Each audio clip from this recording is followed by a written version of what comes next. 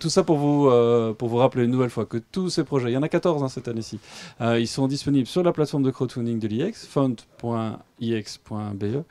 Euh, me concernant, c'était vraiment un, plaisir, une nouvelle fois, pour, je pense que c'est la dixième année ou la onzième année consécutive que j'accompagne des projets des étudiants de l'IEX dans cette démarche-là, dans une démarche qui est un peu une démarche au long cours, une démarche où on prend le temps. Et ça aussi, bah, à l'heure actuelle, c'est parfois un peu du luxe. hein. Il n'y a pas beaucoup de rédacs qui peuvent se, se permettre d'accorder autant de temps euh, à de l'enquête, à de l'investigation, au fait de pouvoir aller sur le terrain, prendre le temps de la conversation, tout simplement, avec euh, le public, avec l'audience, avec des sujets qui sont complexes, et donc de pouvoir redonner aussi du sens, euh, dans tous les sens du terme, à ce beau métier qu'est le métier de, de journaliste, tout en, en étant conscient aussi des enjeux liés au, au mode de financement, au modèle économique qui rend soutenable cette activité.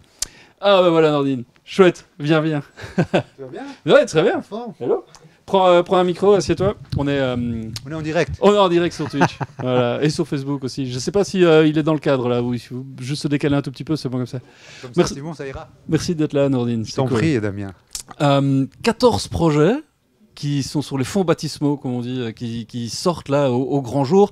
Mais c'est le travail aussi de toute une équipe pédagogique en interne à l'IEX depuis déjà de, de longs mois, puisque ça a commencé déjà euh, bah, au mois de septembre, à la, à la rentrée. À la rentrée. Euh, qu'est- Qu'est-ce qui pousse euh, la section dont tu es le président? Ça fait déjà euh, Six ans. d'années. que- Six ans, que- depuis t'es- 2017. Voilà.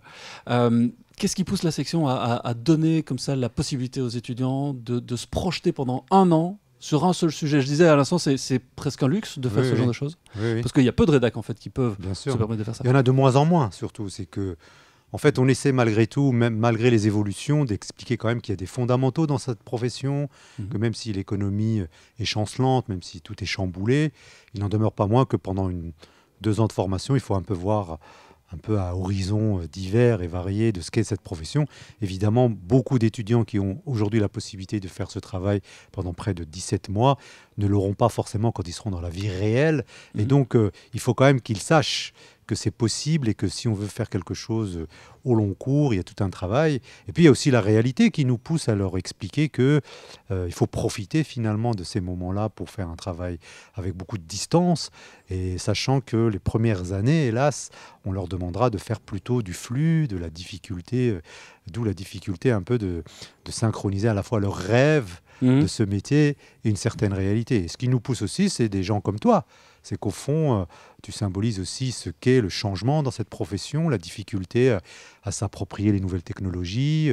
Et donc, euh, et donc, il faut faire bouger les lignes. Et qui dit faire bouger les lignes dit forcément faire bouger les modèles économiques, euh, nos pratiques, même si les fondamentaux restent les mêmes. Donc, donc on essaie de leur offrir à la fois avec ce projet de mémoire médiatique le long cours, la capacité d'abord à travailler sur un état de la question, à prendre de la Ça, c'est la partie profondeur. plus théorique de le. Tout à fait, c'est important parce c'est que c'est des règles qui sont importantes. Oui, Mhm. Plus que nous sommes dans une espèce de, de- de société où l'information est en continu, où quiconque diffuse de l'information. Et donc, pour se distinguer, pour apporter une plus-value euh, à une information, les journalistes qu'ils seront devront avoir euh, donc une, une qualité un peu plus importante. Mhm. Ils seront payés pour apporter autre chose que du sentiment ou, du, ou de la- ou de, ou de l'opinion.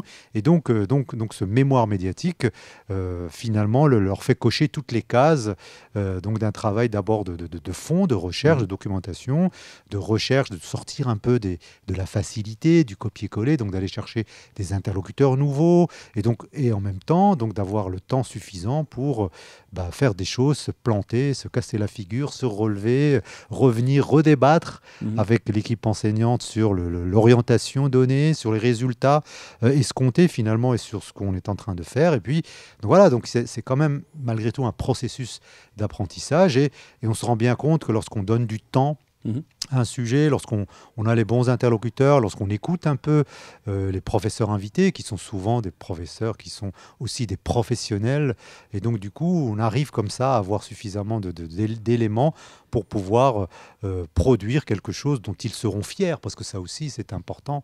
Mhm. Ils doivent aussi, c'est peut-être un peu aussi une des lignes de leur CV, euh, ce mémoire médiatique. Donc c'est pour ça que nous faisons l'effort à la fois financiers, horaires, techniques Mhm. pour les accompagner. Et puis, et puis, et puis il y a tout ce travail qu'ils font avec toi autour de, donc de la recherche de financement. Là aussi, c'est une culture nouvelle pour les journalistes d'aller chercher de l'argent ailleurs que par le média qui les emploie ou, ou la commande d'une institution ou d'une autre, même si évidemment on doit rester toujours dans l'information. Et donc ce travail collaboratif euh, à travers aujourd'hui les- les- toutes les possibilités qu'offrent les nouvelles technologies, c'est aussi des, des choses qui sont nouvelles. Et donc dans, dans ce mémoire, il y a un peu toute la, toutes les, à la fois tous les, les- les- toutes les, toutes- mutations et les, et les enjeux aujourd'hui que recouvre la, la- la profession. Donc après, c'est vrai que le reste de la formation reste une formation assez classique avec Mhm. des cours, des ateliers, mais là, il y a une marge de liberté dans, dans ce mémoire médiatique euh, qui est assez incroyable en termes de contenu,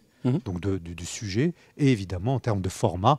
Et c'est là où donc ton intervention avec celle d'un certain nombre de collègues euh, est relativement importante parce qu'il faut aussi un peu les sortir du, du, du- du cadre classique. C'est là où on les attend dans les rédactions.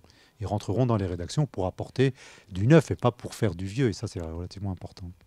Super. Bah voilà. Bah, si dans euh, dans tous les projets que vous avez pu voir aujourd'hui, certains vous ont tapé dans l'œil, si vous-même vous travaillez dans des rédactions, si vous faites partie de tous ceux qui s'intéressent à ces sujets-là, n'hésitez pas à rentrer en contact avec euh, avec tous les étudiants. La plateforme de crowdfunding de l'IEX, c'est fund.iex.be. Tous les projets sont, présentés. Euh, voilà, c'est aussi une manière de leur donner un coup de pouce, un coup de main en forme de tremplin pour pour arriver sur bah, dans leur vie professionnelle, tout simplement. Encore un grand merci, Nordine, pour la, la conférence que la section m'accorde, que l'école m'accorde Réciproque. Merci beaucoup. Merci, Voilà. C'était vraiment un plaisir.